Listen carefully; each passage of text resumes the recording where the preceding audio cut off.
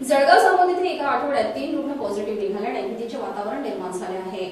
दरम्यान प्रशासन सतर्क झाले असून तेवीस जून रोजी जळगाव जामोदमध्ये एका पंचेचाळीस वर्षीय महिलेचा अहवाल पॉझिटिव्ह निघाल्याने संपर्कात एक डॉक्टर सह दोन मुले आणि पती यांना क्वारंटाईन करण्यात आले आहेत तसेच काही नातेवाईकांना सुद्धा क्वारंटाईन करण्यात आले आहे. मिळालेल्या माहितीनुसार महिला आपल्या उपचारासाठी शेगाव गेली होती. शेगाव येथील डॉक्टरांनी तिला अकोला शासकीय रुग्णालयात तपासणीकरिता रवाना केले. तिथे त्या महिलेचा रिपोर्ट पॉझिटिव्ह आल्यानंतर जळगाव जामोद आणि राणी परिसर सील करण्यात आले आहे.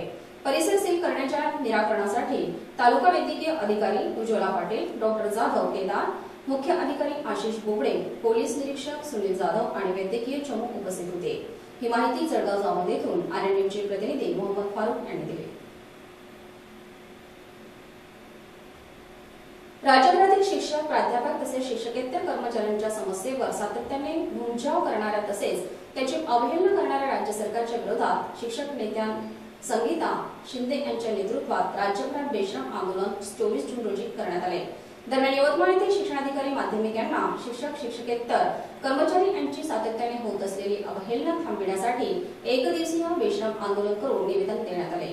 यावेळी शिक्षक संघर्ष संघटना यवतमाळ जिल्ह्याचे अध्यक्ष अविनाश रोकडे जिल्हा महिला अध्यक्ष शुभांगी आवारे महिला सचिव संध्या पवित्रकार उपाध्यक्ष मालती नवाळे रोहिणी गजबी जयश्री देशमुख विजय चिंचोरे सूर्यकांत वरपे महेश देशकर ज्ञानेश्वर पवार रफिक शेख यांनी माध्यमिक शिक्षणाधिकारी यांना निवेदनाची अत्यंत महत्त्वाच्या विषयाची दखल घेऊन प्रशासनानं आदेशित करावे व शिक्षण क्षेत्रात नावलौकिक असणाऱ्या न्याय द्यावा संघटनेचे निवेदन माननीय मुख्यमंत्री उद्धव ठाकरे यांना पाठविण्यात यावे असे संघटनेचे अध्यक्ष अविनाश रोकडे यांनी शिक्षणाधिकारी यांना सांगितले.